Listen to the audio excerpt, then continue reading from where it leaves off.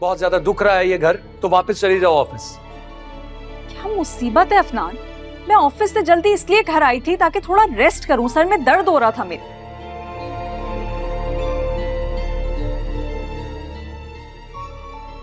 लेकिन मुझे तो इस घर में भी सुकून नहीं है। तो हल बता दिया ना मैंने तुम्हें।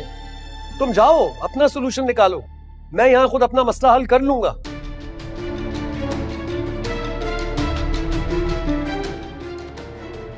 खुद तो तुम पागल होती जा रही हो साथ साथ मुझे भी पागल कर दो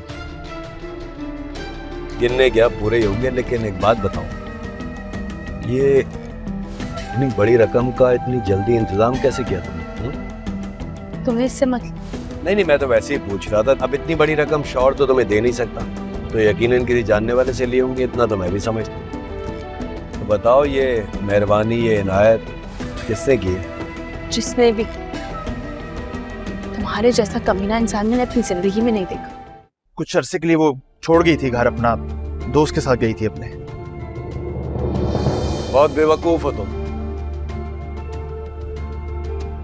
आई एम सॉरी लेकिन तुम बहुत बेवकूफ़। जिसे रमशा जैसी लड़की से शादी की।